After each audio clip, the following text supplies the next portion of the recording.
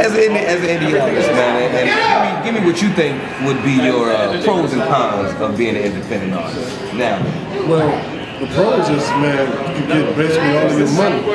You, you know, you can be the bank, you can be your manager, you can be your producer, you can be the artist, you can be your label.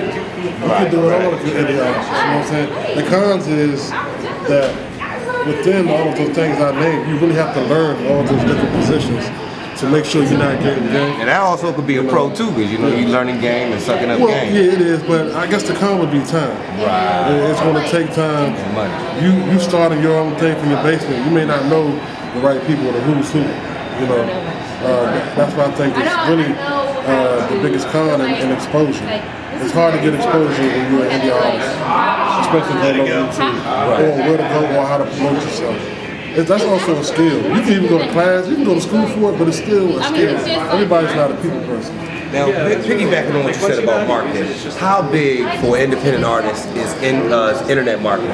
Facebook, MySpace, Man, well- Twitter, all that. Well, it's huge, uh, and I don't think it, it, it's one entity in particular.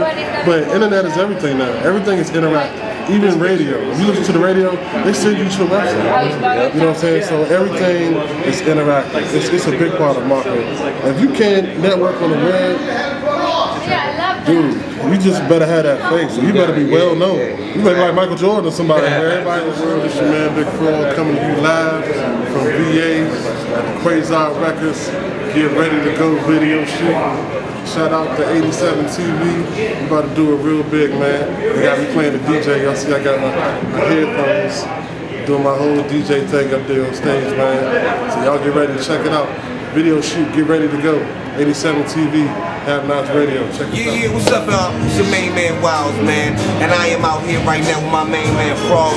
He tuned in at 87 TV's presents Lighthouse Music Worldwide. All the independent artists coming showcase their work here, man. Mean, we out here getting it in. We got the fine ladies on set, man. We, you know how I do. We like to shoot.